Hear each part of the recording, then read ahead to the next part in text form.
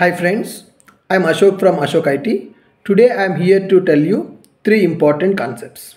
One is what is product based company and second one how the interview process will be there in product based companies and third one how much package we can expect from product based companies.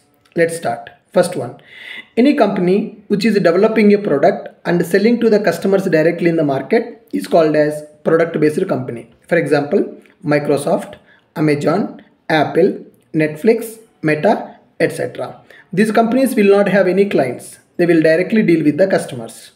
And coming to interview process in these companies, mainly they will focus on data structures, algorithms, problem solving, system design. You should be very very very strong in these concepts then only you can crack the interview in the prod based companies and the interview process also will take 2 weeks to 3 weeks of time. And they will check space complexity of your implementation time complexity of your implementation and they will ask some system design related questions also. You should be very strong in that area. And coming to package they will offer very good package. Example your years of experience multiplied by 8 to 10 lakhs also they can offer. If you have 3 years experience they can offer up to 30 lakhs package also.